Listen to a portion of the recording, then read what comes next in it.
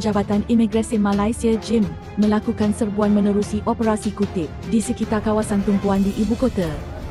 Operasi bermula jam 9.30 minit malam tertumpu di tiga lokasi warga asing berkumpul iaitu kawasan sekitar hadapan pusat beli belah, Suria KL Jambatan Saloma dan Pavilion Bukit Bintang. Susulan aduan orang ramai mengenai kebanjiran pendatang asing tanpa izin parti terutama pada hari Minggu di kawasan itu.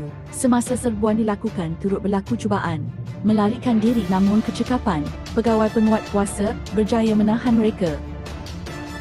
Lebih 120 individu diperiksa dan seramai 31 parti yang berumur antara 19 hingga 50 tahun telah ditahan kerana disyaki melakukan pelbagai kesalahan di bawah Akta Imigresen 1959 per 63 dan Peraturan-Peraturan Imigresen 1963.